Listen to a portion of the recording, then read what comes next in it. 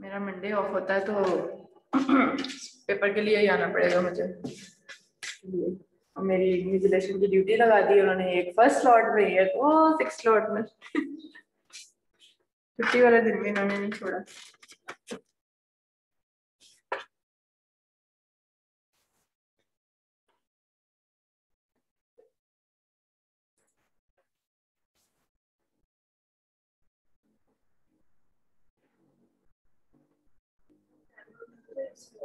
हाँ हाँ। जी वालेकुम क्लास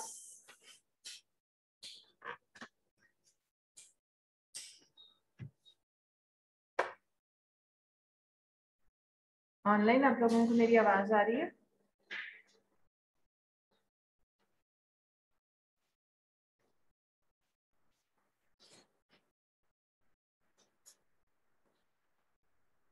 ज़्यादा तेज नहीं हो गया आवाज़?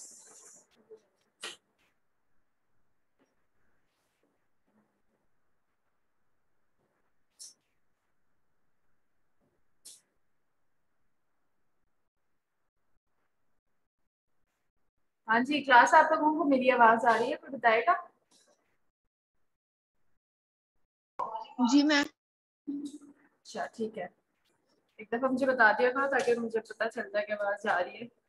फिर सुनना नहीं सुनना वो आप की मर्ज़ी, आदत तो सोए हुए पेपर की तैयारी कैसी हो रही है? परसों पेपर है शायद आप लोगों ट्यूजडे को। पहले मस्कस करेक्टर की तैयारी कर लें थी ना, जब टाइम नहीं है इतना कि रात को बैठ के मस्को स्केटर करोगे, और अगले दिन फ़र्स्ट स्लॉट में ही है। सेकंड स्लॉट ये डेशीट वाले जो है ना डेशीट बनाने वालों के ऊपर है, वो किस तरह डेशीट बनाते हैं वो सारा कुछ होता है। हमारी अपनी ड्यूटी इतनी गलत गलत लगाई हुई है हम कुछ कह नहीं सकते। और पेपर भी इसी तरह उन्होंने गलत गलत टाइप पे रखे हुए चलो, कोई बात नहीं, हो जाता है ऐसे। अच्छा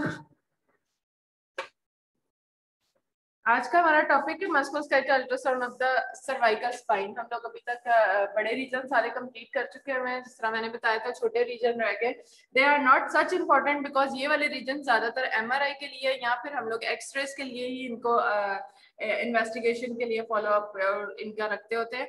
अल्ट्रासाउंड इनकी कमी की जाती है, ठीक है? इस वजह से इनके छोटे छोटे टॉपिक बनाए हुए हैं कि मेनली जो है इन इन रीजन को अगर अल्ट्रासाउंड किया जाता है तो वो किस पर्पज के लिए किया जाता है?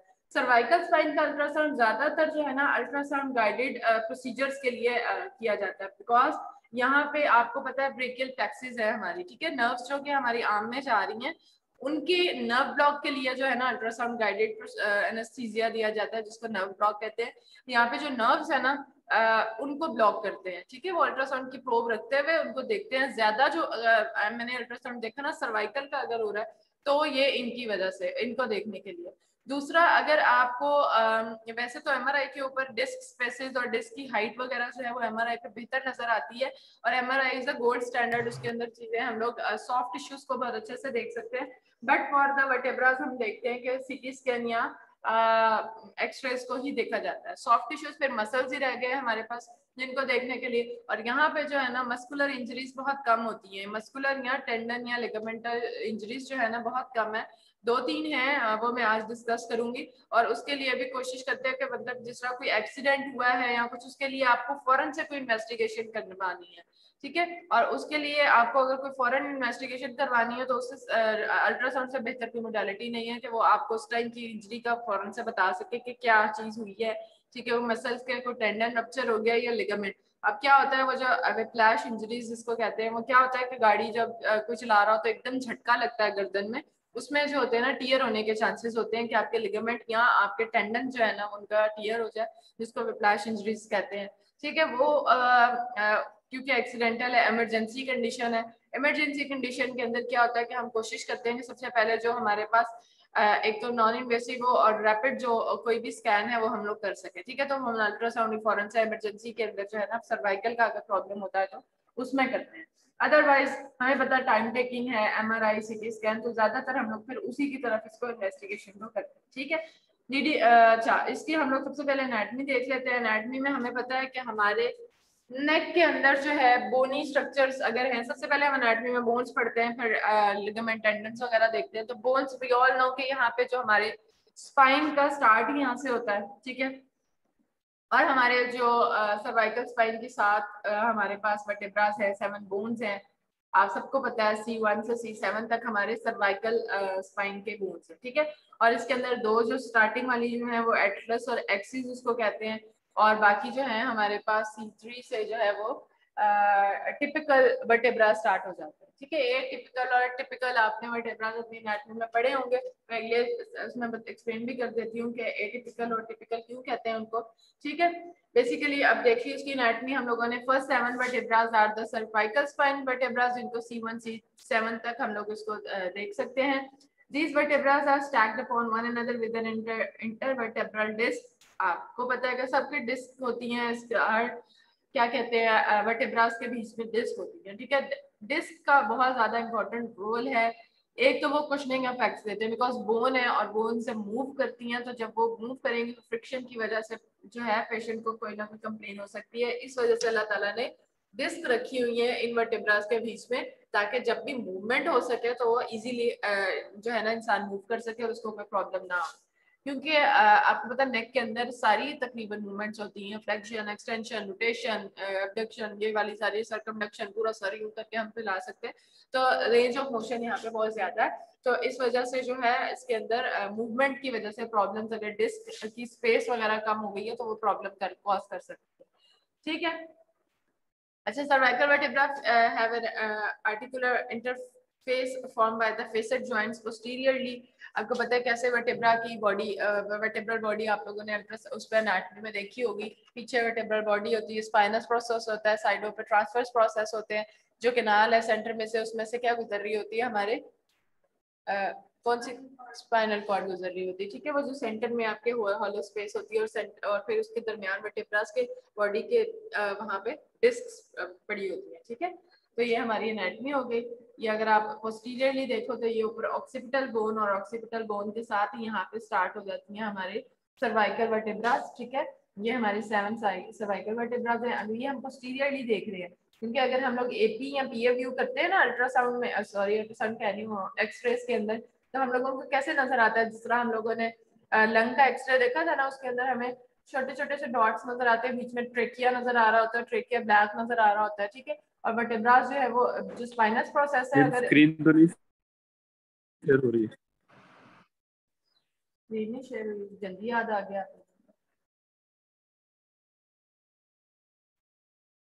ठीक एक ही स्लाइड अभी देखिए उसमें वर्टेब्रास देखे हमने। सारे सोए हुए हैं। ये मेरा ख्याल तलहा ही जाग रहा है जिसने बोला कि स्क्रीन शेयर नहीं हुई। बाकी सब सो गए ना ठीक है एक ही साइड देखिए ये वर्टेब्रास की उसने हमने देख ली है सारे कितने हैं उसमें सी वन से सी सेवन तक है। ठीक है इंटर बिटवीन जो है, यहाँ पे इंटरवर्टेब्रल डिस्क होती है, मैंने इनका फ़ंक्शन बता दिया इस डायग्राम में देखो तो इसके अंदर हम लोगों को क्या नज़र आ रहे हैं कि हम लोग, ये जो एपी या पीए व्यू करते हैं, उसके अंदर हमारे पास जो स्पाइनस प्रोसेस है, अगर हम लोग सेजिटली या लेटरली देखते हैं तो स्पाइनस प्रोसेस हमें प्रॉपर नज़र आता है, पीछे की तरफ़ को एक स्पाइन नज़र आती है। बट पीए या एपी व्यू के अंदर क्या होता है कि वो यूँ हमें फ्रंट से या बैक से देखते हैं तो स्पाइनस प्रोसेस एक डॉट की तरह नज़र आता है, ठीक है? जिस तरह आपने लंग के एक्सरे के अंदर देखा होगा कि जहाँ पे हम लोग ट्रेकिया को देख रहे होते हैं यहीं पे नेक में आपको वर्टेब्रास नज़र आ रहे होते हैं और उसके अंदर ब्लैक कलर का यूँ छोटा सा जो नज़र आ रहा होता है, जहाँ से वो बाइफरकेट आगे जाके कर जाएगा ट्रिकिया जो होता है, वो ब्लैक हमें एयर की वजह से नज़र आता है, ठीक है? तो उसी के अंदर अगर हम वर्टेब्रास को देखें तो हमें छोटे छोटे डॉट्स नज़र आएँगे, वो स्पाइनस प्रोसेस के होते हैं बिकॉज़ इन एपी या P view spinous process looks like a dot छोटे छोटे से व्हाइट कलर के डॉट्स नज़र आएँगे, अगर हम लेटरली देखेंगे तब हम स्पाइनस प्रोसेस पूरा साइड से नज़र आएगा, ठीक है? अच्छा टिपिकल सर्वाइकल वर्टिब्रास कौन से हैं और ए टिपिकल सर्वाइकल वर्टिब्रास कौन से हैं? जिसका मैंने बताया कि ए टिपिकल सर्वाइकल वर्टिब्रास जो है वो सी वन सी टू जिसको एटलेस एक्सिस और सी सेवन ठीक है, ये तीन जो है वो हमारे पास ए टिपिकल सर्वाइकल वर्टिब्रास है और टिपिकल सर्वाइकल वर्टिब्रास और ए टिपिकल सर्वाइकल वर्टिब्रास को क्यों हम लोग ए टिपिकल और टिपिकल कहते हैं? उनकी जो है ना थोड़ी सी शेप जो है, दोनों से डिफरेंट होती है, ठीक है? इस वजह से उनको कहते हैं इस तरह। जो ए टिपिकल है, जो सी वन सी टू और सी सेवन है ना, उसके अंदर बॉडी नहीं होती स्पाइनस प्रोसेस में। ये जो वर्टेब्रल बॉडी है ना, ये इस तरह नहीं होती, ठीक है? और इसीलिए उनको जो है ए टिपिकल कहते हैं। बाकी सारे जो है ना, जिनको हम लोग इवन थॉरेक्स के अंदर भी टी के जितने भी वर्टेब्रास हैं नंबर के हैं दे और आर टिपिकल वर्टेब्रास जिसके अंदर स्पाइनस ये वर्टेब्रल बॉडी होती है। पीछे स्पाइनस प्रोसेस होता है साइडों पे ट्रांसफर्स प्रोसेस ठीक है ट्रांसफर्स प्रोसेस ये जो साइड्स पे आपको नोके सी नज़र आ रही है ट्रांसफर्स फोरामेंस होते हैं उसके अंदर, ठीक है, ये सारी नेट में आप लोगों ने इसकी पहले तो वर्टेब्रा की पढ़ी हुई है, सारे पेडिकल्स हैं लेमिनास हैं, ठीक है, एक डिफरेंस याद रखो कि ए टिपिकल और टिपिकल का क्या है ए टिपिकल वर्टेब्रास कौन से हैं C one C two and C seven अगर हम लोग सर्वाइकल की बात करें तो वो ए टिपिकल है। और टिपिकल कौन से है? बाकी जितने रेस्ट है वो टिपिकल है बिकॉज़ उनके यहाँ पे वर्टिब्रल बॉडी भी है स्पाइनस प्रोसेस भी है। ठीक है? These are the major muscle that surround the cervical spine ये हमारे पास अगर हम लोग लेटरली देखें तो यहाँ पे हमारे पास ये जो ऊपर से ऑक्सीपिटल बोन से अटैचमेंट है, इसकी लॉन्गेस्ट कैपिटस और लॉन्गेस्ट कोलायर मसल ये जो बैक पे नज़र आ रहा है। अच्छा हम लोग बैक क्या, हमने, पता नहीं, यहाँ पे एक स्टर्नोक्लीडम एस्ट्रॉइड मसल भी होता है जो यहाँ से नेक से आके यहाँ आगे क्लेविकल के साथ अटैचमेंट होती है। ठीक है? लेकिन मेनली हम लोग ये वाले मसल्स इसलिए देख रहे हैं पोस्टीरियरली हम लोग जो, जिन मसल्स को अल्ट्रासाउंड पे देख सकते हैं, ये मसल्स वो वैसे तो नेक के अंदर बहुत सारे मसल्स हैं। ठीक है? लॉन्गस कैपिटस है लॉन्गस कोलाया है ऑब्लिक कैपिटस सुपीरियर ये वाले मसल्स जो है that's around the cervical spine posteriorly इन्होंने इसको उसके ऊपर आपको ये वाले मसल्स मिलेंगे। ठीक है? लिगामेंट्स आ, जो लिगामेंट सी कलर से बता रहे हैं एंटीरियर से पोस्टीरियर की तरफ़ जाते जाओ वर्टेब्रा की जो एंटीरियर रेड कलर का नज़र आ रहा है that is anterior longitudinal ligament जो कि यू लॉन्गेस्टली प्लेस किया हुआ है, जो पूरे स्पाइन को आगे से यूँ उसने लॉन्गेस्टली एक बड़ा सा लिगामेंट होता है। ठीक है? फिर पीछे आ जाओ, फिर ये आ गया पर्पल कलर में पोस्टीरियर ये पोस्टीरियरली प्लेस है, ये भी लॉन्गेस्टल है तो इसका नाम पोस्टीरियर लॉन्गेस्टल लिगामेंट देन हमारे पास लिगामेंटम फ्लेवम है, ये जो बीच बीच में नज़र आ रहे हैं ब्लू कलर के। इंटरस्पाइनल लिगामेंट है, ठीक है, ये ग्रीन एंड ये जो है नक्कल लिगामेंट जो नक्कल लाइन हमारी ऑक्सीपिटल बोन की, वहाँ से इसकी अटैचमेंट होती है, वहाँ से नीचे की तरफ़ जाता है। अच्छा व्हाट आर द पैथोलॉजीज जिनको हम लोग कह सकते हैं कि अल्ट्रासाउंड के ऊपर हम लोग किसी हद तक देख सकते हैं। वरना तो मैं बता रही हूँ कि इसका इतना रोल नहीं है अल्ट्रासाउंड का सर्वाइकल इमेजिंग के लिए। और अगर इमेजिंग है तो सबसे पहले हम लोग उसकी अगर बोनी कोई प्रॉब्लम है तो first line investigation is the X rays ठीक है? सर्वाइकल एक्सरे उसके अंदर एक्सरेज के अंदर हमें क्या अच्छा वैसे तो पैथोलॉजीज कौन कौन सी है इसकी नेक की सर्वाइकल डिस्क हर्निएशन डिस्क जो है वो उससे हर्निएट कर जाएगी जो हमारी सर्वाइकल के ना स्पेस है वहाँ से स्पॉन्डिलोसिस ठीक है डीजेनरेटिव चेंजेस होना स्टार्ट हो जाएँगे सर्वाइकल की बोन्स की फिर हमारे पास है विप्लैश डिसऑर्डर वही जो मैंने आपको इंजरी बताई थी कि अगर पिक्चर में देखो थर्ड वन लास्ट वन कि कैसे वो एकदम से झटका लगता है जब नेक के अंदर तो ये इसके अंदर इंजरी आ सकती है लिगामेंट या टेंडन टीयर हो सकता है क्रिक इन द नेक कोई भी जो अकड़ाव सा होता है ना उसमें और बहुत उसको स्पैज्म फील हो जाता है सर्वाइकल सारे मसल्स का स्पैज्म कह लो, उसको क्रिक कहते हैं। ठीक है, फिर next strain and strain is what strain and strain and injuries to the tendon and ligament leads to the strain and strain ये सारी प्रॉब्लम्स हैं, जिनको हम लोग जो है देख सकते हैं डिफरेंट मोडालिटीज के थ्रू डिफरेंट इन्वेस्टिगेशन के थ्रू ठीक है, अब डिस्क हर्निएशन है नंबर वन देखो तो ज़्यादा तो हमें इसके ऊपर ठीक है अल्ट्रासाउंड पे इसका रोल है, हम सॉफ्ट दो हमारे बटेब्राज नज़र आएँगे, उसके दरमियान अगर डिस्क है, वो हर्निएट हो रही है तो तो हम अल्ट्रासाउंड पे बड़े क्लियरली इसको देख सकते हैं। ठीक है? लेकिन उसके साथ, उसको हर्निएशन के साथ इतनी ज़्यादा कंप्लेंट आ जाएँगे उसको। एक्चुअली ये इसलिए हम लोग एम आर आई या सिटी स्कैन इसको करवाते हैं बिकॉज़ सर्वाइकल के साथ आपको पता है, यहाँ पे ब्रेकियर प्लेक्सिस और इतने ज़्यादा नर्व्स भी गुजर रही हैं। उसकी वजह से पेशेंट कंप्लेन करता है, उसको नर्व नमनेस की प्रॉब्लम है, उसको वीकनेस की प्रॉब्लम है डेट मीन उसकी नर्व्स भी इन्वॉल्व हुई हुई हैं। तो नर्व तो हमें अल्ट्रासाउंड पे इतनी अच्छी क्लियरली नज़र भी नहीं आती और ऐसा एरिया है जिसके ऊपर हम लोग देख ही नहीं पाते कि उसके ऊपर कोई कंप्रेशन नर्व का आया हुआ है या और कोई पैथोलॉजी है। न्यूरोपैथी जितनी भी है, वो हम लोग ज़्यादातर एमआरआई के ऊपर देखते हैं, ठीक है? तो वो उसके लिए फिर हम लोग एक डिज़ीज़ अगर देखनी हो तो तो है, लेकिन ये एसोसिएटेड डिजीजेज हैं, जब सर्वाइकल की हों तो हम कोशिश करते हैं कि ऐसी मोडालिटी पे हम इन्वेस्टिगेशन करें, जिसपे हम लोग बाकी चीज़ें भी देख सकें, ठीक है? अच्छा फिर उसके बाद स्पॉन्डिलोसिस क्या है? डिजेनरेटिव चेंजेस है। उसमें स्पाइन जो है, आपकी विद टाइम जो है, आपको पता है, वो थोड़ी सी खुदरी होना शुरू हो जाती है। उसके अंदर ऑस्टियोप्रोसिस का प्रोसेस स्टार्ट हो जाता है। आपकी बोन्स जो है, वो स्पाइन जिसमें छोटी छोटी नोक्स नज़र आना शुरू हो जाती हैं। ठीक है? वो तो और उसके अलावा जो हमारा कर्व है, जो स्पाइन का एक कर्व होता है ना, यूँ कनकेव पहले होता है, फिर कन्वेक्स थोरेक्स होता है, फिर लंबर से कनकेव होता है। ये हमारी यूँ करके स्पाइन पर पूरी बनी होती है। ये जो नॉर्मल कर्वेचर है ना इसका आ, हमारे सर्वाइकल स्पाइन का ये डिस्टर्ब हो जाता है। समटाइम्स मस्कुलर स्पैज्म की वजह से स्ट्रेटनिंग हो जाती है ठीक है? स्ट्रेटनिंग हमें बड़ी क्लियरली अल्ट्रा सॉरी एक्सरेस पे नज़र आ सकती है। ठीक है? कर्व देखना बड़ा ज़रूरी होता है सर्वाइकल का। उसमें नॉर्मल तो ये कर्व होता है कनकेव अब नॉर्मल में क्या होगा कि यहाँ तो स्ट्रेटनिंग हो जाएगी नेक की या फिर आगे की तरफ़ को चला जाएगा ठीक है? और रिवर्स हो जाएगा कर्वेचर उसका। ठीक है, उसके अंदर भी पेशेंट को काफ़ी प्रॉब्लम्स आती हैं। ठीक है, उसके अलावा उसके जो स्पॉन्डिलोसिस का प्रोसेस है, उसके अंदर आपको छोटी छोटी सी स्पाइक्स नज़र आ रही हैं, खुदरी हो गए है वो हमें सब कुछ एक्सरेस पे भी बड़ा क्लियरली नज़र आ सकता है कर्वेचर और उसके स्पॉन्डिलोसिस और इसकी वर्टेब्रल हाइट ठीक है? तो हम लोग पहले first time investigation is X rays for the bony problems ठीक हो गया? अच्छा फिर विप्लाश इंजरी है, उसके अंदर क्या होगा? आपके लिगामेंट या टेंडन टीयर होंगे। तो first because it's accident emergency condition है तो उसके लिए फिर हम लोग क्या करते हैं? हम लोग अल्ट्रासाउंड की तरफ़ सबसे पहले जाएँगे। अल्ट्रासाउंड का अगर क्लियर नज़र आ गया, ठीक है अदरवाइज़ जो है ना, हम लोग सिटी स्कैन करवाएँगे ठीक है? फिर हमारे पास आ गया स्ट्रेन और strain is the tear of ligament and tendon अच्छा these are the clinical presentation patient complain cervical की अगर कोई भी प्रॉब्लम आ रही है नंबर वन तो नेक पेन के साथ आएगा। ठीक है, बहुत ज़्यादा उसको स्वेर नेक पेन है, उसको स्पैज्म है, अकड़ा हुआ है बहुत ज़्यादा। ठीक है हेडेक हो रहा है शोल्डर पेन है टिंगलिंग नमनेस और वीकनेस ये जो तीन चीज़ें हैं ना they are associated with nerves neuropathy की वजह से। अगर कोई प्रॉब्लम आ रही है तो पेशेंट इन कंप्लेन के साथ आ रहा है।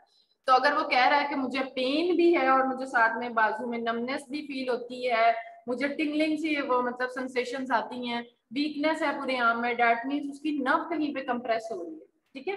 ऐसी जो कंप्लेन्स होती है ना, वो आती ही नर्व्स की वजह से। और अगर एक और पेन जो कहता है कि मुझे पेन खास तौर पर रेडिएट हो रही है पेन तो वो रेडिएटिंग पेन जितनी भी होती है, वो भी नर्व की पेन होती है। ठीक है? एक ही जगह की पेन होती है, वो नर्व की पेन नहीं होती। जो पेन रेडिएट करती है इसमें शियाटिका की पेन होती है। कहते हैं बैक पे पेन और साथ में लेग में भी जा रही है पेन तो वो भी जो होते हैं, वो नर्व की पेन होती है, वो नर्व जो कंप्रेस हो रही होती है, जिसकी वजह से उसको पेन ऐसी फील होती है, जैसे रेडिएट कर रही है टांग में भी। इसी तरह अगर कोई उसको पेन इस तरह की फील हो रही है, जो वो पेशेंट कंप्लेन कर रहा है विद रेडिएटिंग पेन के वो एक जगह नहीं है फील होता है, पूरी बाजू में दर्द जा रहा है।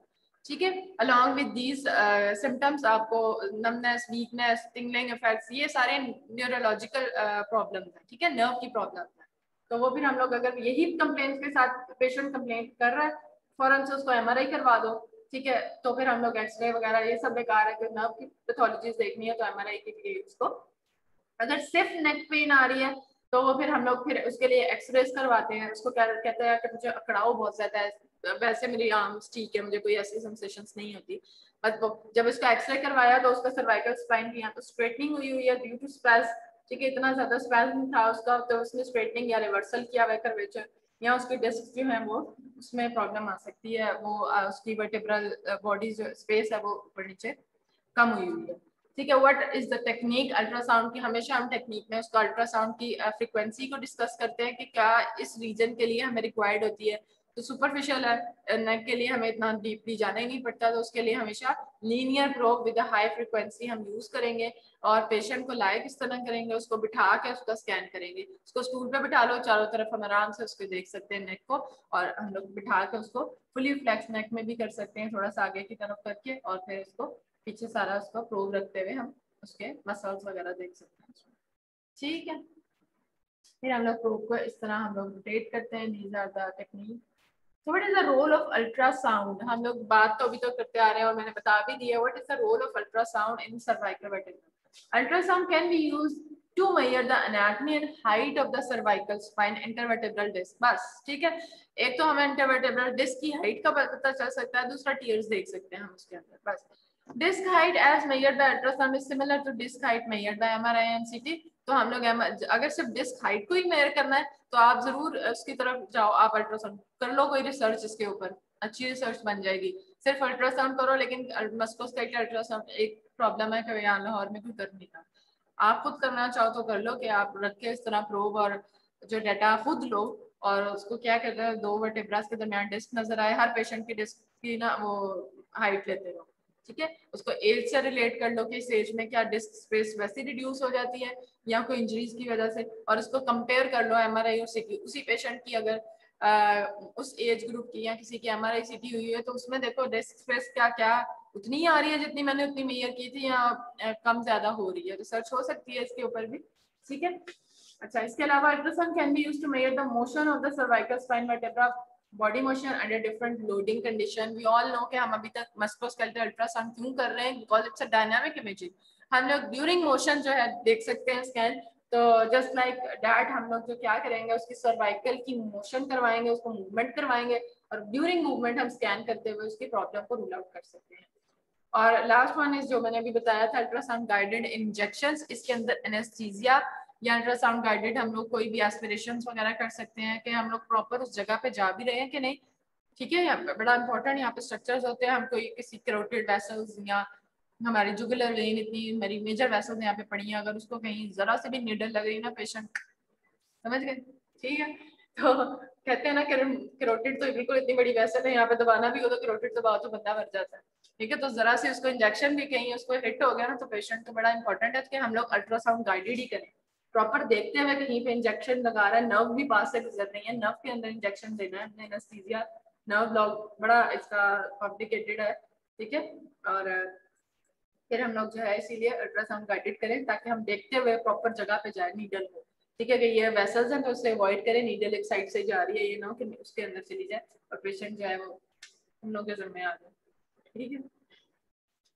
तो ये अल्ट्रासाउंड है अल्ट्रासाउंड देखो इतना गंदा नज़र आता है ना, इतना अच्छा क्लियर नज़र नहीं आता जितना एम के ऊपर स्पाइन नज़र आती है। हाँ बस आपको बोन्स व्हाइट कलर की नज़र आ रही है और जिसके अंदर आपको ये देख रहे हो, एक वर्टेब्रा ये देख रहे हो, दूसरा वर्टेब्रा उसके दरमियान जो स्पेस है, और ये क्या है space this is the disc जो कि हम लोग इसको मेजर कर सकते हैं, उसकी मेज़रमेंट उसकी हाइट ले सकते हैं, ठीक है? नो लोडिंग 0.41 सेंटीमीटर इसकी हाइट है, ये डबल फोर सेंटीमीटर और यहाँ पे देख लो इसकी स्पेस थोड़ी सी रिड्यूस हुई हुई है। दैट मीन्स उसकी हाइट कम होगी तो इस तरह हम प्रोग रखते हैं। ऊपर वाली बोन नीचे वाली बोन दरमियान में स्पेस जो है ना, और ग्रे सा जो एरिया नज़र आ रहा था दिस इज़ द डिस्क तो उसकी हाइट आप मेयर कर सकते हो, ठीक है? तो ठीक ये अच्छा why the height of the intervertebral disc is so important because the ratio between the vertebral body height and the disc height will dictate the mobility between the vertebra अब आपको पता है कि इंटरवर्टेब्रल डिस्क है, उनका काम क्या है? ड्यूरिंग मोशन है कुशन इफेक्ट्स देती हैं आपको, ठीक है? अब जितना आपका उसकी हाइट कम हो जाएगी तो बोन और बोन के दरमियान जो है वो डिस्टेंस कम हो जाएगा तो उसकी मोशन में उसको पेन हो सकता है, ठीक है? आहिस्ता आहिस्ता डिस्क रिड्यूस होना शुरू हो जाएगी, ठीक है? डिस्क की वजह से उसको पेन बहुत सवेर होगी और उसकी रिस्ट्रिक्टेड मोशन हो जाएगी, बहुत ज़्यादा मूव नहीं कर पाएगा, ठीक है? मैंने मौलाना तारिक जमीर को तो सभी जानते होंगे।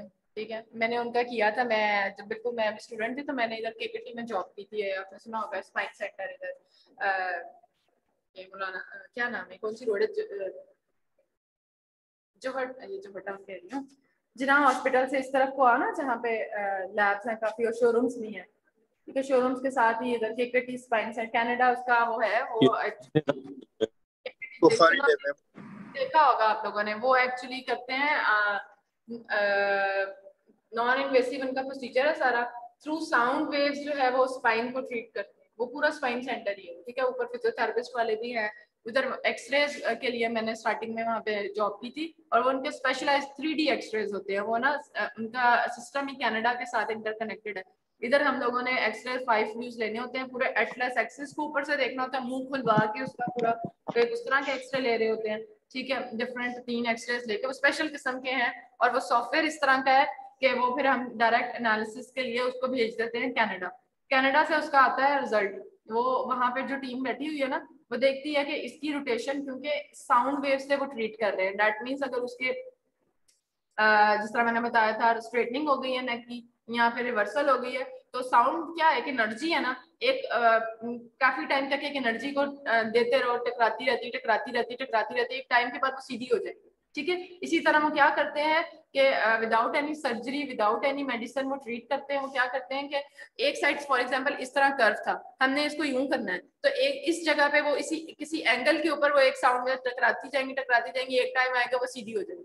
ठीक है? साउंड वेव एनर्जी है ना एनर्जी बस उसको देनी है और किस एंगल पे देनी है वो एंगल जो है वो हमारे पास वहाँ से उसका एनालिसिस आता होता था उसको देखते हुए एक्सरेज को। हम पेशेंट को फिर नेक्स्ट डे का टाइम देते थे कि ट्रीटमेंट के नेक्स्ट डे आपका 24 आवर्स तक जो है वो रिज़ल्ट आ जाएगा। डेट मीन्स वो हमें एंगल बताते थे और उसकी कितनी साउंड की हम लोगों ने एनर्जी देनी है उस पेशेंट को, वो आता होता था वहाँ से, ठीक है? कि इस पेशेंट की इतनी रोटेशन हुई है तो इसको इस एंगल से देना है। फिर उसको ट्रीटमेंट रूम में ले जाओ। ट्रीटमेंट रूम में प्रोब सी होती थी इतनी सी। वो उसके नेक पे यहाँ पे प्लेस करते होते थे। जिधर भी वो आता होता था इंटीरियर रखना है पोस्टीरियर जो रिज़ल्ट आता था, इतनी उसके मशीन के ऊपर फ्रिक्वेंसी सेट सेट कर दी साउंड वेव की। और फ्रिक्वेंसी के बाद जो है, फिर हम लोग उसको जिस पोजीशन पे उसको साउंड वेव की एनर्जी देनी होती है, वो फिर उसको सेशंस देते होते थे कि आपने बारह सेशंस तक आपका ये होगा, क्योंकि आहिस्ता आहिस्ता साउंड वेव उसको ठीक कर देगी, ठीक है? इसके अलावा एंटीवर्टेब्रल डिस्क इसी वजह से अगर खराब हो तो वो एक साउंड वेव से ट्रीटमेंट है स्पाइन का। लेकिन उसके अंदर कोई गारंटेड ट्रीटमेंट नहीं था कि आप लेकिन एक्सपेंसिव ट्रीटमेंट था। लेकिन कुछ पेशेंट को जब डॉक्टर्स कह देते हैं कि आपके भाई सर्जरी ही होनी है तो सर्जरी को अवॉइड करने के लिए एक ऑप्शन था कि नॉन सर्जिकल ट्रीटमेंट है। काफ़ी पेशेंट वहाँ पे ठीक भी होते थे, मेरे सामने थे, वहाँ पे कोई व्हील चेयर पे एक बुज़ुर्ग आते होते थे। और वो व्हील चेयर पे थे, वो चल नहीं सकते थे। अलहमदिल्ला जब उन्होंने ट्रीटमेंट कराया तो वो अपने पाँव पे चल के गए थे सबसे मिल के गए थे कि मैं ठीक हो गया हूँ। तो वहाँ पे तो वो और कुछ जो है बेचारे और खराब हो गए। ऐसे भी थे। क्योंकि एक अभी रिसर्च है, इसके ऊपर साउंड वेव्स हैं। साउंड वेव से या तो उसको ठीक कर देगा, या तो फिर उसका कोई नुकसान नहीं है ऐसा कोई के मतलब कोई, क्योंकि साउंड वेव्स की कोई इस तरह की एनर्जी कोई हम लोग रेज नहीं दे रहे उसको। बस साउंड वेव है, उससे उसका ट्रीटमेंट हो सकता है। तो अच्छी उन्होंने फिजियो वाले ज़्यादातर वहाँ पे है तो हम लोग थे मैंने थोड़ा टाइम तो वहाँ पे ज़्यादातर बड़े लोग ही आए हुए हैं। मिसबा उल हक ने भी वहाँ से ट्रीटमेंट करवाया हुआ था, उसकी स्पाइन में प्रॉब्लम था अपने। और ज़्यादातर हॉकी प्लेयर्स आए हैं वहाँ पे बहुत ज़्यादा, जिनको स्पाइन में प्रॉब्लम जिनकी स्पाइन और मैं वही बताई थी कि मेरे पेशेंट मौलाना तारिक जमील भी रहे हैं, उनका मैंने एक्सरे किया था। उनकी मैंने ये चीज़ देखी थी, मौलाना तारिक जमील की। नेक के अंदर जो डिस्क स्पेस है ना, वो बिल्कुल खत्म हो चुकी थी। वो सारे वर्टिब्राज ऐसे एक दूसरे के साथ कोलैप्स से हुए हुए थे और जब उनका एक्सरे किया तो उनका बड़ा बुरा हाल था मतलब यहाँ से ना, पूरी वर्टिब्रल डिस्क बिल्कुल ही समझ लो स्पेसिस रिड्यूस ही हुई थी और उनको इतना सुअर पेन था कि वो अपनी नेक भी नहीं वो कर पा रहे थे इतनी ज़्यादा उन दिनों। अपनी वाइफ को भी वहाँ पे लेके आए थे तो उनका भी ट्रीटमेंट करवाया था और उनका भी हुआ था ट्रीटमेंट और वो भी अलहमदिल्ला बिल्कुल ठीक हो गए थे, उनकी स्पेस जो है ठीक हो गई थी। तो वहाँ पे ज़्यादातर जो है ना सेलिब्रिटीज ही मैंने देखी क्योंकि महँगा ट्रीटमेंट है। एक सेशन का ही मेरे ख्याल पंद्रह हज़ार लेते हैं वो, और हफ़्ते में दो सेशन करवाते हैं। ठीक है, वो फिर किसी को पंद्रह सेशन किसी को लाखों में ट्रीटमेंट चला जाता होता है। तो वो ज़्यादातर जो मैंने वहाँ पे सेलिब्रिटीज ही देखे हैं जो वाकई बेचारे जिनकी प्रॉब्लम है उन्होंने किए भी हैं, लेकिन वही गारंटेड ट्रीटमेंट नहीं था। किसी का ठीक हुआ है, किसी का मसला जो है ना प्रॉब्लम भी हुई है, किसी को नहीं भी आराम आया, लेकिन मोस्टली ठीक हुई। ठीक है? तो मैं आपको यही बताया था कि ये मैंने मौलाना तारिक जमील के इस तरह की प्रॉब्लम देखी थी वर्टेब्रल डिस्क की। तो वो एक्सरेस के ऊपर भी बड़ा क्लियरली नज़र आ जाता है कि वर्टेब्रास के अंदर स्पेस बहुत रिड्यूस हुई हुई है। तो उनकी तो इस तरह ऐसे खराब सी हुई थी एक तो डीजेनरेटिव चेंजेस भी थी काफ़ी ज़्यादा उनकी।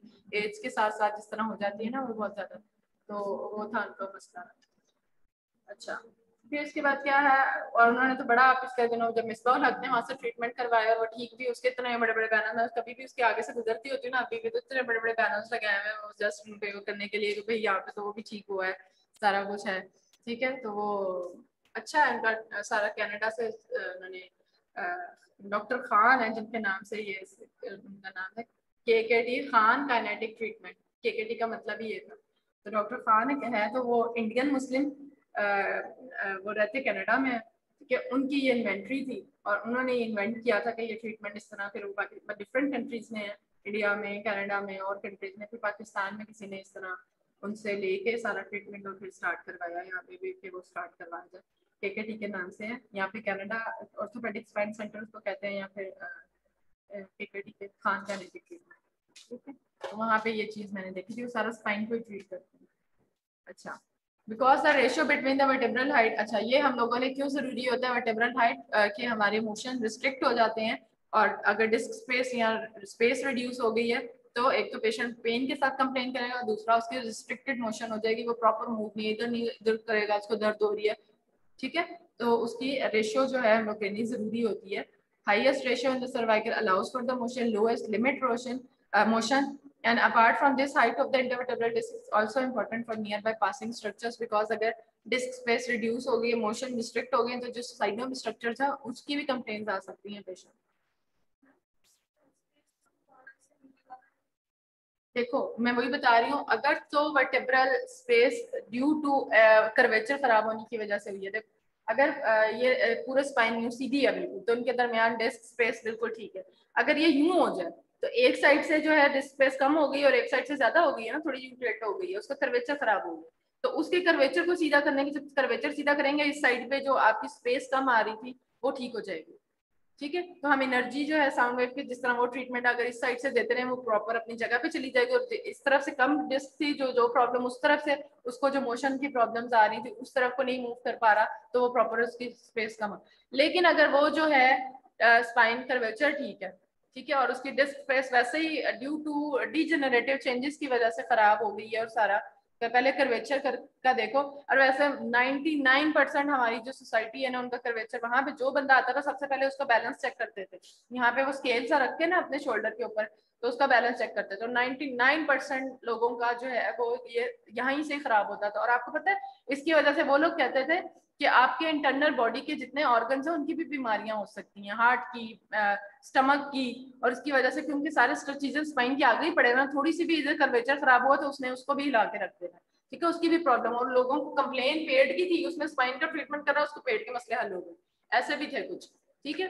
तो वो कर्वेचर जो है ना बेसिकली कर्वेचर और जो जो बैलेंस देखा ना सबका मोस्टली लोगों का एक शोल्डर जो थोड़ा सा नीचे होता है या एक शोल्डर थोड़ा सा ऊपर होता है नॉर्मल जिसका बहुत कम बहुत कम वन टू टू परसेंट लोगों का बिल्कुल इक्वल होता है और बिल्कुल नॉर्मल होता है। वो उस तरह, और क्योंकि हमारे तो बचपन में इतने भारी भारी हम लोगों ने बैग उठाया हुआ है ना, कि हमारा एक साइड पे बैग बच्चों को कभी भी कहते हैं कि एक साइड पे कभी भी वाला बैग ना लेके दो उस वक्त। क्योंकि वो सारा जो आपका ज़ोर है ना, वो एक ही तरफ़ बच्चे का आएगा और वो क्या होगा, उससे एक शोल्डर नीचे चला जाएगा, एक शोल्डर थोड़ा सा ऊपर आ जाएगा। स्पाइन का कर्व खराब हो सकता है, उसको आगे स्पाइन की प्रॉब्लम्स आ सकती हैं। ठीक है? कभी भी हम लोग भी यूज़ करते हैं। जब भी बैग वगैरह कोई भी भारी यूज़ करते हो तो एक ही साइड को नहीं हमेशा यूज़ करो। कोशिश करो, कभी उतना भार उस तरफ़ भी दो, उस तरफ़ भी दो इक्वल रखो। एक ही साइड पे ज़्यादा तुम लोग वो वेट आता रहेगा तो वो थोड़ा सा बैलेंस खराब हो जाता होता है अपने स्पाइन का। ठीक है?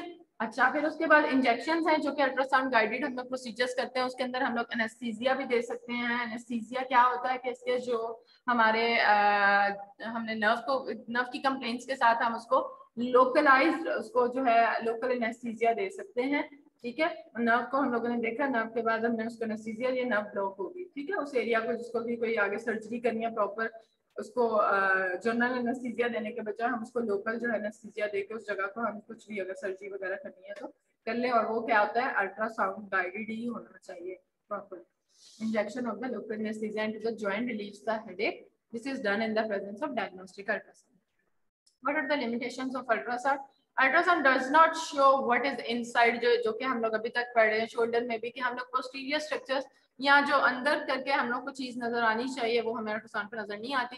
फॉर डेट हम एक्सियल स्लाइसिस लेते हैं सी या एम के। So this is one of the limitation के हम लोग we can not see what is in ठीक है? With the help of this we can only visualize the soft tissue outside number two does not give the detailed image ultrasound is not accessible to the deep seated region ultrasound does not travel well through air और bone ये भी एक limitation है कि bone के जहाँ से गुजरेगी पीछे शेडो आ जाएगा जहाँ जहाँ बोन्स है तो इसलिए हम सर्वाइकल की करते ही नहीं सारा तो बोन है पीछे क्या देखना हमने शेडो आ जाना सारा ठीक है तो बोन और फिर जो एयर वाले स्ट्रक्चर्स होते हैं वहाँ से भी हमें सारा ब्लैक ही नज़र आएगा तो फिर एक ये लिमिटेशन है अल्ट्रासाउंड की So ultrasound is not an effective effective at imaging body parts that has gas in them or are hidden by bone.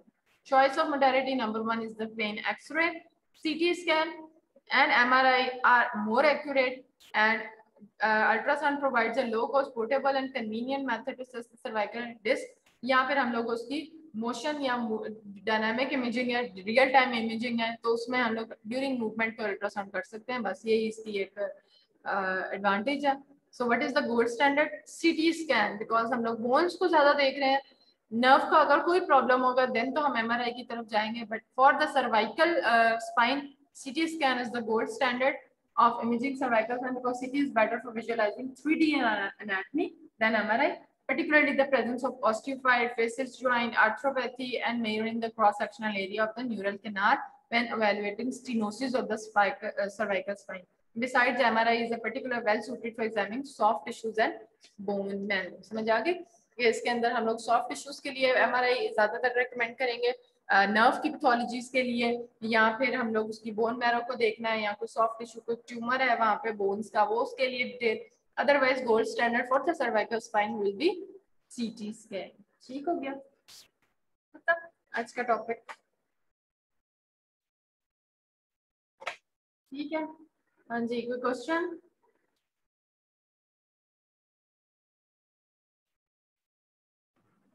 दो ma'am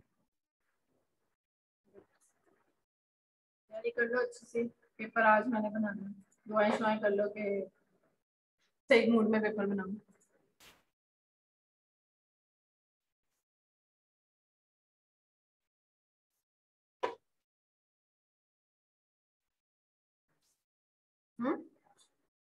MCQs twenty twenty five thirty marks का मैं पेपर दूँगी पूरा। उसमें यहाँ twenty marks के MCQs हो जाएँगे। यहाँ ट्वेंटी फाइव मार्क्स के एमसीक्यूज और फाइव मार्क्स के डायग्राम एससीक्यूज शायद ना दे ठीक है? लेकिन अभी मैम ये मैम ये डायग्राम बहुत ज़्यादा नहीं है मैम। नहीं बहुत कम है। मैम कैसे कम है? इतने ज़्यादा है नी में भी और आगे भी बहुत ज़्यादा है मैम पता ही नहीं चलता। और लोग कंफ्यूज होते हैं। मैम सारे एक जैसे हैं मैम उसमें हम कैसे डिफरेंस तो एक करेंगे एक दूसरे से? इमेज दूँगी ठीक है? जो एक जैसे मुझे खुद पता है कि कंफ्यूजिंग है जो पता नहीं चल रहा वो क्या चीज़ है। वो मैं नहीं दूँगी जो क्लियर होगी वो दूँगी। और दूसरा ये कि फोटोकॉपी पे अगर वो इमेज नहीं क्लियर आ रहा होगा Uh, कुछ एमसीक्यूज में भी इमेजेस दे सकती हूँ नीचे ऑप्शन दे दूँगी कि ये इमेज किस चीज़ का है या ये इमेज क्या बता रहा है। कोई फ्लूड बता दिया कोई बेकर सिस्ट बता दी अगर नेक नज़र आ रही है तो इस तरह की कोई चीज़ ठीक है? तो वो अगर एमसीक्यूज में मैंने पूछ लिया कि ये क्या चीज़ है नीचे ऑप्शन होंगे। इमेज अगर क्लियर ना हुआ तो मैं यहाँ पे आपके सामने सॉफ्ट कॉपी में भी जो है ना कहूँगी जो भी इमेजिनेटर होगा यहाँ पे भी खोल दें अगर वो प्रिंट ना प्रॉपर सही हो सका उसके ऊपर। ठीक है? शोर ना मचाना कि इमेज क्लियर नहीं हो रहा और ये वो सारा। आपको यहाँ पे भी दें ठीक है? छोटा सा पेपर है जल्दी जल्दी थर्टी थर्टी मार्क्स का होगा। फोर्टी फाइव मिनट तक का आपका टाइम होगा। आप एमसीक्यूज ट्वेंटी एमसीक्यूज होंगे twenty twenty five thirty marks का पेपर दूँगी। या तो फाइव मार्क्स के एसक्यूज और फाइव मार्क्स के डायग्राम तो तो twenty MCQs ma'am CQs SQs का तो हमने दिल से निकाल दिया मैम अब वो ना देना। एसक्यूज अगर दिया है तो वो बहुत छोटे दो नंबर का कोई पूछ लूँगी दो चीज़। ठीक है? वो फाइव मार्क्स का है सिर्फ़। अगर दिए तो अभी मुझे नहीं पता अभी मैं बैठ के मैम डायग्राम फिर भी देखे है लेकिन एसक्यूज के लिए हमने सही तैयारी नहीं की मैम लो अब जो तुमने वो पढ़ा है वही तुम वहाँ लिख देना उसमें क्या है? दो नंबर का क्वेश्चन पूछ लूँगे। तैयारी सही उसके लिए अलग करनी पड़ती है वैसे इमेजेस की जगह एसक्यूज नहीं दे सकती। इमेजेस मत दें। लो नहीं इमेज तो मैंने देना ही देना है इमेज तो मुझे बहुत पसंद है। एमसीक्यूज में भी देने में दो के लिए मैम फाइनल में दे दीजिएगा ना इमेज नहीं यार मुझे ना इमेजेस पसंद ही बड़े क्या करूँ? मैम वो वैसे दिखाते हैं हमें जो पसंद है आपको। वेरी इजी होगा आप लोग फ़ौरन से उसको बल्कि उसमें मार्क्स लेने भी इजी होते हैं आप लेबल करोगे इजी होगा डोंट वरी उसको भी देख लेना अल्ट्रासाउंड वाले इमेज को भी और दूसरी लेबलिंग वाले भी कोई इस तरह अगर डायग्राम जिस तरह है नी के अंदर थी या कोई वैसे डायग्राम दी हुई है कि सिर्फ़ लेबल करने को ठीक है कोई बोन्स पूछ ली है तो बोन्स बता दो। तो शक हो गया ना है? एक ही तो क्या कहते हैं वो है तुम लोगों के पास रीजन उसकी भी ना पूछूँ तो क्या पूछूँ तुम लोगों से है? रेस्ट तो है। आप रेस्ट के रट्टा मारना है वो कैसे रट्टा मारा था? एक साइड पे मैंने लिख दिया रेडियल साइड एक साइड पे अल्नर साइड पे लिख लोगे? रेडियल साइड से शुरू कर लो और किस साइड पे जा रही है? स्केफॉइड किस साइड से स्टार्ट हो ठीक है? यस मैम ठीक है वो कौन मैंने बता दी एक साइड रेडियल एक साइड अल्नर है तो आपको ये तो पता होगा रेडियल साइड से स्केफॉइड शुरू हो रही है तो फिर वो आगे तो आपने रट्टा ही मारना स्केफॉइड यूनिट ट्रैक्टिव ठीक है? तो सीक्वेंस सही होना चाहिए या ना हो क्या रट्टा मार के आगे पीछे कर दो ठीक है? तो सीक्वेंस प्रॉपर होना चाहिए ऊपर डिस्टल और प्रोक्सिमल रो का ठीक है कि एक इसके बाद क्या? मैम जो कंपार्टमेंट के अंदर की चीज़ें वो तो नहीं पूछेंगे वो तो बिल्कुल समझ नहीं आती मुझे देख के। मुझे एक बात बताओ एक रीजन दिया तुम लोगों को रिस्क के ये भी नहीं पूछेंगे ये भी नहीं पूछेंगे उसमें चीज़ें क्या है? कंपार्टमेंट्स है इंपॉर्टेंट ठीक है रिस्क के अंदर? मैम मैम वो बहुत मुश्किल है उसका तो समझ ही नहीं आ रही और एक दूसरे से डिफरेंस हम नहीं कर सकते मैम उसमें। इमेज पूछ रहे हो या वैसे कह रहे हो कि इमेज पूछ रहे हो? कि image image image image ma'am image का बात कर रहे हैं। अच्छा चलो इमेज कंपार्टमेंट के अंदर इमेज नहीं समझ आती। अल्ट्रासाउंड की नहीं दूँगी दूसरी दे दूँगी। ठीक है डायग्राम फिर तो समझ आ जाएगी ना? मैम वो जो है आप हमारे से वैसे ही पूछ रहे ना कौन से कंपार्टमेंट में क्या चीज़ है हम आपको वो बता दें। कुछ सिनेरियोस देने हैं ठीक है? एमसीक्यूज जिस तरह पहले दिए थे सिनेरियोस टाइप होंगे।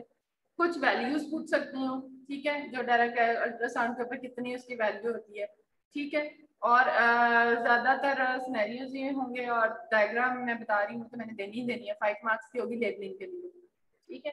वो कोई भी हो सकती है, लेकिन आप तैयारी अपनी पूरी रखो कंपार्टमेंट्स का पता हो बोन्स का पता हो नी के अंदर नी और ये और तीसरा बेसिक सा लेक्चर छोटे से तो दो नी तो पहले तुम लोग कर चुके हो रेस्ट ही है, उसको ही अच्छे से कर लो।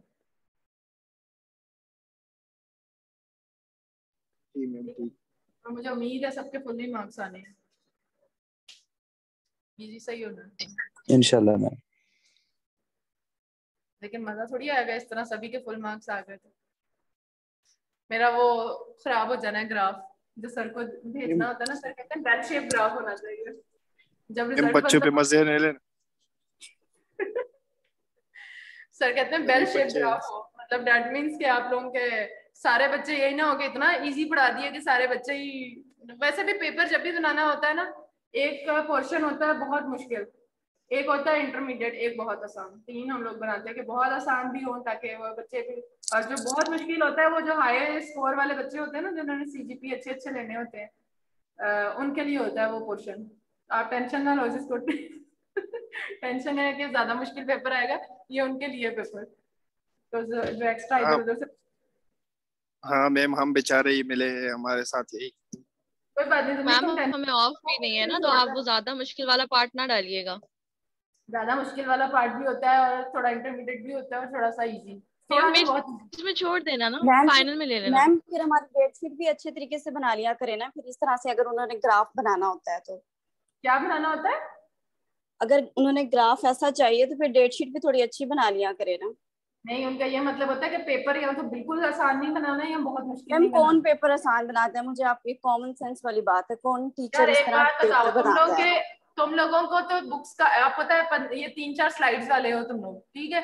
दो तीन टॉपिक को सिर्फ़ स्लाइड स्लाइड से इधर उधर से तुम लोग पढ़ते हो। तुम लोगों को अगर यूएचएस का पेपर देना पड़ जाना तुम लोगों को लग पता जाए। अभी तुम लोग सिर्फ़ स्लाइड्स पे बोल रहे हो यहीं से पढ़ते हो और यहीं से पेपर आता है सारा। वहाँ पे सिर्फ़ टॉपिक बताया जाता है जो दूसरी यूनिवर्सिटीज और उसमें उधर टॉपिक सिर्फ़। और वो टॉपिक के अंदर कुछ भी आ सकता है पेपर ठीक है? आप लोगों ने कभी देखा नहीं है पेपर कभी देखना यूएचएस के पेपर्स किस तरह के होते हैं या फिर बाकी किस तरह पेपर वो लोग ले रहे होते हैं? ये उसके चिल्ड्रन हॉस्पिटल का देख लो या बाकी जितने हैं उनके हॉस्पिटल्स के। वो लोग आपको सिर्फ़ टॉपिक बताते हैं। यहाँ पे तो आपको स्लाइड्स पढ़ा के उसी में से दे रहे होते हैं फिर भी बच्चे सीख रहे होते हैं भाई ये मुश्किल पेपर आ गया मैम फिर उन, उनका पूरा साल होता है मैम और उनका मतलब असेसमेंट्स उनकी छोटी छोटी होती रहती हैं।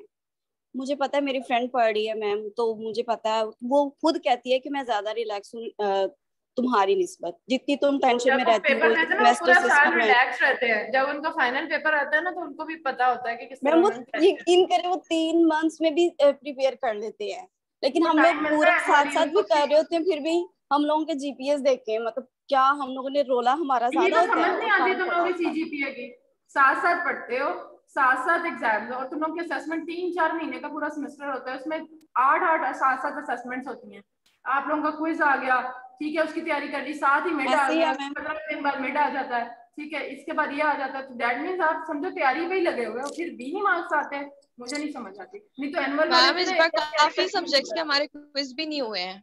सीधे लॉकडाउन की वजह से खराब हो गए ना मैम सब टीचर्स अपनी मर्ज़ी करते हैं यकीन करें। कहते हैं हमें पीछे से इंस्ट्रक्शन आती है लेकिन करते अपनी मर्ज़ी है ऑनेस्टली किसी का कोई पैटर्न है अब किसी का कोई पैटर्न है कोई क्या कह रहा है कोई सिंपल एमसीक्यूज दे रहा है कोई एमसीक्यूज दे रहा है। आपको बस जो टॉपिक बता दिया आप तैयारी करो जैसे मर्ज़ी तैयारी करो। ठीक है आपको कुछ भी आ सकता है। आपको तो उससे गर्ज ही नहीं होना चाहिए कि क्या किस तरह आएगा। आपको बस ये कि पेपर है ना पेपर किसी भी तरह आ सकता है। ठीक है? तो वो आपको बताए जाते हैं सब टीचर्स जिस तरह अगर कोई प्रॉब्लम आती है तो वो पहले ही बता देते हैं कि भाई हम लोग इस तरह का पैटर्न दे रहे हैं। वो आप लोगों को बताते हैं कि वे एमसीक्यूज हैं, मैं जिस तरह बताती रहती हूँ इमेजेस पे ज़्यादा फोकस किया करो, ठीक है? और स्नैरियोज हैं। और क्या तुम लोग को फिर इसलिए चाहिए इसमें?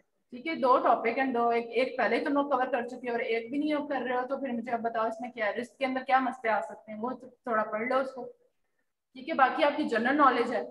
सारा रटा तो नहीं ना हर वक्त के यहाँ स्लाइडों से देख देख के तुम लोगों ने वही लिखना है जो स्लाइड में लिखा हुआ है। बाकी जनरल नॉलेज है कि इससे ये अगर पढ़ा तो इससे ये भी हो सकता है, ये भी हो सकता है। थोड़ा सा खुद भी तो सोचना है कि नहीं? बहुत यहाँ पे मर्ज़ी से, मैं यकीन करो ईमेल्स देखती हूँ, मर्ज़ी से सब और खास तौर पे मैंने आज शायद उनको भी बताना है जो जो मुझे असाइनमेंट वाले लोग हैं। मैंने आप लोगों की क्लास में नहीं ये बताई थी बात कि मुझे कितनी ईमेल्स आई हैं कि विदाउट क्या कहते हैं उनके उन्होंने टाइम को नहीं देखा और इस तरह ईमेल्स किए, भाई, हमें पता ही नहीं चला, इतने बजे का टाइम था, मैंने इतने बजे सबमिट करा दिया, मुझे टाइम का नहीं पता चला, मेरा इसका मसला, इतनी ईमेल्स जबकि मैंने कहा था एलएमएस पे मुझे अपलोड करना। ठीक है, इतनी ईमेल्स जो कि मुझे आई हैं, मैंने एक्सेप्ट सबकी की हैं, लेकिन मैं मेरिट पे ही हमेशा मार्क्स देती हूँ, जिसको वाइवा के अंदर भी, जिसके अंदर भी सबको एक लेवल पे रखती हूँ। ना मेरे लिए कोई फेवरेट बच्चा है, ना मेरे लिए कोई बहुत नीचे। जिसने पढ़ना है, वो पढ़ के नंबर लेगा, जिसने जिस तरह भी नंबर लेने हैं, वो उसकी अपने ही उसके ऊपर ठीक है, मेरे लिए कोई ऐसे नहीं है जो फेवरेट नहीं है, कुछ ऐसे नहीं है, और मार्क्स भी असाइनमेंट किसी तरह मैंने डिवाइड किए हुए थे, एक प्रेजेंटेशन के मार्क्स हैं कि आपने क्या मटेरियल यूज़ किया किस तरह का आपने प्रेजेंट किया है? दूसरा ये कि आपके सबमिशन टाइम विद इन आपने टाइम उसको सबमिट करवाया है या बाद में सबमिट करवाया ठीक है, जो बाद में सबमिट करवाए हैं, मैंने उनको एक्सेप्ट ज़रूर किया, लेकिन उनके मार्क्स कहीं ना कहीं डिटेक्ट होंगे। क्यों? क्योंकि दे आर इरेस्पॉन्सिबल अगर आपको इतना ही अगर असाइनमेंट का हो ना, जो अच्छे पढ़ने वाले बच्चे उन्होंने असाइनमेंट टाइम पे कंप्लीट करके प्रॉपर उनको पता है ऑनलाइन मसला आ सकता है। उन्होंने दो दिन पहले ये सारे अगर फ़ाइल बड़ी या नहीं अपलोड हो रही कंप्रेस करके देखो कुछ। ये एंड पता है कि 12 बजे हमारा टाइम खत्म हो जाना। 12 बजे लगे हुए और ईमेल्स आ रही है। मिस 12 बजे मैंने, मुझे एएम का नहीं पता था पीएम का पता है एएम पीएम का हो गया। तुम लोग 12 बजे ही सबमिट करवाना था। एक दिन पहले प्रिपेयर रखो अपनी प्रेजेंट अपनी असाइनमेंट कब की हुई है? एक डेढ़ डेढ़ हफ़्ते पहले बता देते हैं। कि इसीलिए कि कोई मसला ना आए। फिर भी एंड टाइम का मुझे उसके बाद की आ रही है ईमेल्स ठीक है? तो वो मैंने एक्सेप्ट ज़रूर किए हैं, लेकिन जिसका जो मसला है उसके थोड़े थोड़े मार्क्स उस लिहाज से जो है ना, फिर मैं डिटेक्ट करूँगी मार्क्स इसीलिए जो है ना, उस पर मत बोल।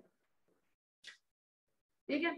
तो आप लोग खुद मर्ज़ी से ईमेल्स कर रहे हैं। बच्चों को पता ही नहीं है कि क्या उसका सिलेबस मैं अनाउंसमेंट में कहती रहती होती है अनाउंसमेंट में अगर कोई इस तरह की प्रॉपर होती है मैं अनाउंसमेंट भी देख लिया करो एल किस लिए तुम लोगों के लिए ही है ना? फिर भी ईमेल्स करके मिस आज क्लास का बता दें क्या कहते हैं वो अपनी सिलेबस बता दें ये बता दें, पैटर्न बता दें, सब कुछ वहाँ लिखा हुआ है कि वेटी जितनी है ये सब कुछ है, सब वहाँ पे है। फिर भी अलग से मर्ज़ी से ईमेल में इस तरह ना करें, इस तरह दे दें, इस तरह ना करें, इस तरह ना दे दें। यहाँ पे हर टीचर्स को अपनी मर्ज़ी से दे करवा रहे हैं काम, कि हमें जो इस तरह नहीं पसंद, आप ऐसे कर लें, वैसे कर लें। जरा दे के देखो दूसरी यूनिवर्सिटीज में इस तरह करके देखो। इवन के वहाँ पे जो आपको अनाउंस कर दिए, ये डेट के जो मर्ज़ी हो जाए, किसी को खुदा ना खासा, खुदा ना खासा डेथ भी हो जाए ना किसी की खानदान में तो वो भी पहुँचे होते हैं पेपर देने के लिए। मैं यकीन करो, मुझे यहाँ पे एक टीचर दिखा रही है। उसकी शादी है, लड़की की वाइवा दे रही है पॉलर में बैठी हुई है। ठीक है, और इतनी नॉन सीरियस है वो कि उसका शादी को अभी इतना टाइम है, पंद्रह दिन है तो पार्लर में बैठी है, वाइवा दे रही है वीडियो कैम ऑन किया हुआ है, और साथ में जी अपनी फेशियल करा रही है और ये करा रही है। तो ये कोई तरीका तो नहीं है ना कि मिस अपनी मर्ज़ी से? वो अगर जहाँ पे एग्ज़ाम बोर्ड के एग्ज़ाम देते थे होता था कभी अपने बोर्ड के एग्ज़ाम में जाके कह लोगे इसीलिए तो यहाँ पे फिर आप लोग बाद में जाके कहते हो भी हमें यूएमटी वालों को कोई पूछता नहीं है। यूएमटी वालों को इसलिए नहीं पूछता कि आप लोग खुद भी सीधे नहीं होते। आप लोगों को अगर बुक रीडिंग का कहते हैं बुक से पढ़ो बुक से पेपर आएगा, ठीक है, मैं बुक से, यहीं पे सारे आधे बेहोश हो जाए ठीक है? तो ये चीज़ें जो है, आपको फ़ील्ड में मसला कर सकती हैं। हम लोग तो जो जिस तरह चलता आ रहा है, उसी को फॉलो करते हैं कि आप लोगों को सिर्फ़ स्लाइड्स पढ़ानी है स्लाइड से पेपर है इधर उधर से ज़्यादा नहीं। हाँ थोड़ा कोशिश करते हैं कि आप लोग ज़्यादा वो ना हो तो बिल्कुल ही स्लाइड से नहीं उठा के देना। थोड़ा बहुत तो इधर उधर का पता होना चाहिए, कुछ सिनेरियोज दे दिया या कुछ कुछ तो दिमाग लगाओगे ना। ठीक है तो वो चीज़ है। क्योंकि आप लोगों को बाद में मसले फ़ील्ड के ही आते हैं। बहुत से बच्चे जो ग्रेजुएट हो चुके हैं। मुझे आज यही उनके मसले आ रहे हैं। जॉब्स नहीं मिल रही हैं। इतनी आसानी से जॉब मिल जाएगी। ठीक है एक्सपीरियंस लो। मैं कहती रहती हूँ ड्यूरिंग स्टडीज़ एक्सपीरियंस लेना स्टार्ट कर दो। काम सीखो। अभी काम सीख लोगे तो आपको फॉरन जॉब मिलने के चांसेस है ज़्यादा, ठीक है? स्टूडेंट लाइफ में आप लोग सीख सकते हो काम। आपको ज़रूरी है कोई पे कोई करे तो फिर ही आपने जॉब करनी है विदाउट पे कहीं लग जाओ, ठीक है? जहाँ जहाँ आपको कोई रेफरेंस लगता है या जहाँ काम कोई सिखा रहा है थोड़ा बहुत, आप वहाँ जाओ ऑब्ज़र्व भी कर लो, अगर वो खुद आपके हाथ में नहीं देगा, चीज़ों का आइडिया हो जाएगा फ़ील्ड का आइडिया हो जाएगा।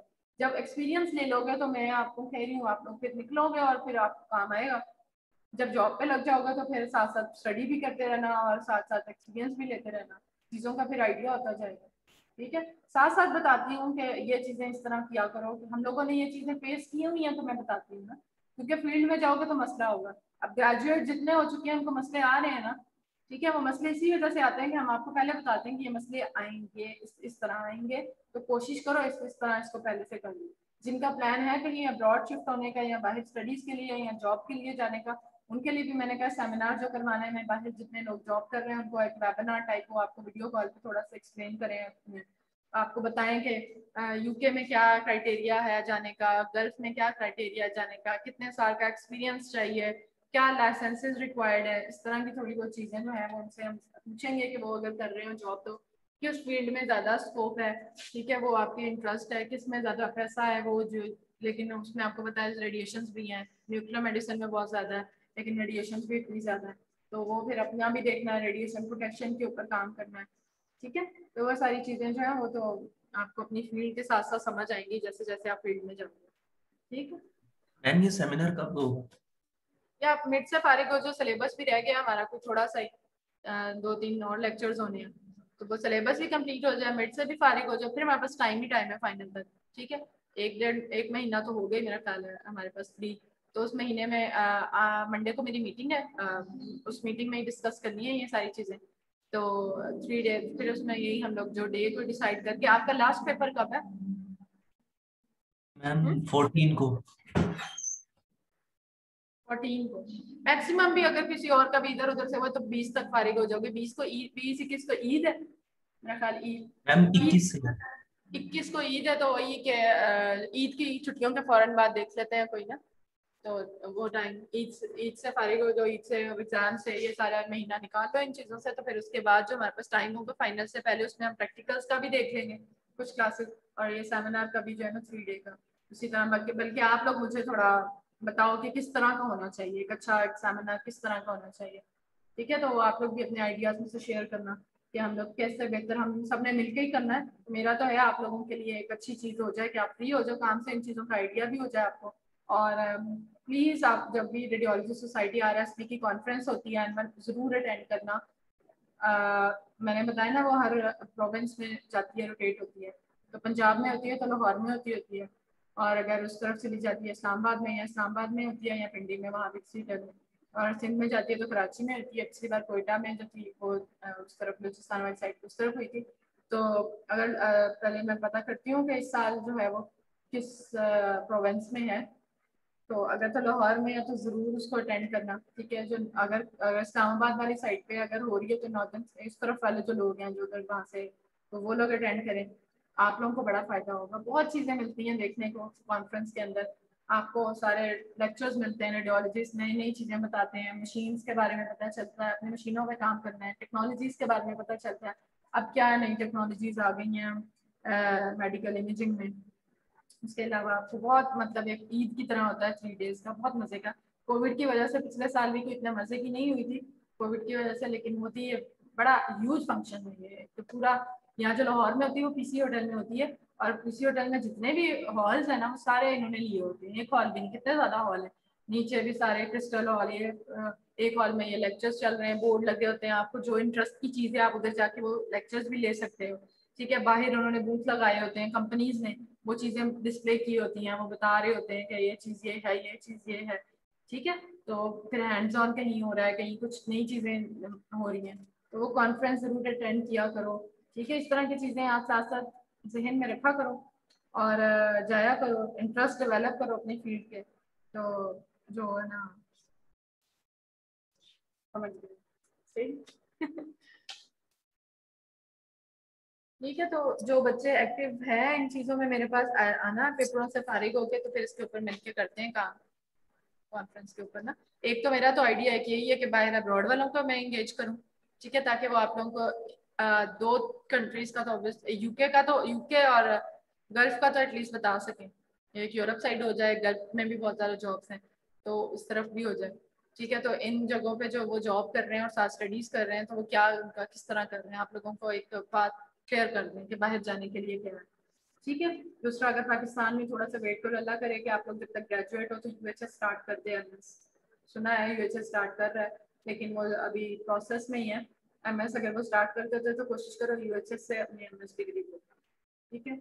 बाकी आ, उसके लिए मुझे लग रहा है उनकी सीट उनका मेरिट होता है। यूएचएस हमेशा मेरिट पे रखता है।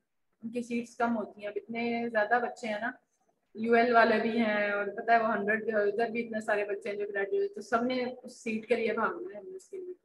ठीक है? तो अपना जो ग्रेजुएशन का सी जी पी है या अपना मेरिट है, उसको हाई रखना ताकि आप इधर नहीं तो चलो कोशिश करो, बाहर निकल जाओ। ठीक है? तो स्टडीज़ को नहीं छोड़ना एटलीस्ट एटलीस्ट मास्टर ज़रूर करना। आगे तो आप जितना मर्ज़ी पढ़ लो मास्टर ज़रूर करना, कोई एक फ़ील्ड में स्पेशलाइजेशन ज़रूर करना। ठीक है? फिर ही कामयाब हो आप और एम को कोई नहीं पूछेगा। जिस तरह simple M B B S को आजकल कोई नहीं ना पूछता। इतने सारे एम बी बी एस करके बैठे हैं। जब तक वो स्पेशलाइज नहीं हो रहे, फिर जाके कहीं उनको प्रॉपर उनकी कोई नाम होता है एम बी बी एस हर दूसरा बंदा एम बी बी एस हर दूसरा बंदा एम बी बी एस पहले हमारी फ़ील्ड कम थी, कम लोग थे। अब आ गया ज़्यादा। ठीक है? अब जो है, इस वजह से अब मेरिट पे काम होना सारा कुछ। ठीक है? तो कोशिश करो अपने आप को ऊपर लेके आओ मेरिट पे। ठीक है? चलो, अब इंशाल्लाह पेपर के बाद मिलेंगे। आपको पेपर की तैयारी करो। हाँ जी। मैम जो टेक्निक्स वाले लेक्चर हैं रिस्ट की और नी की वो हम असाइनमेंट से पढ़ सकते हैं? असाइनमेंट इसीलिए तो बनवाई थी आप लोगों से कि एग्ज़ाम से आप लोग वो सारा कुछ एक एक स्लाइड से पढ़ोगे याद करना मुश्किल होगा। तो जिसने जिस तरह की मैंने कहा था आपको याद करना आसान हो असाइनमेंट से। आपके लिए बनवाई थी उस तरह की जिस तरह आप पढ़ते हो एक टेबल बना लो उस तरह बना लो जिस तरह बना लो जैसे इजी लगता है उस तरह असाइनमेंट बना लो ताकि आपको एग्ज़ाम में पूरा लेक्चर उसको टेबल को देखते साथ ही याद हो जाए। ठीक है? उस तरह याद करना आसान हो जाएगा पूरा लेक्चर तो आप लोगों के लिए बनाई थी कि आप लोग एग्ज़ाम के लिए? तो आप उधर से पढ़ लो उधर से पढ़ लो एक ही चीज़। Okay ma'am. और तो कुछ नहीं किसी ने पूछना? बंद कर दू लेक्चर चलो। ओके अल्लाह हाफिज।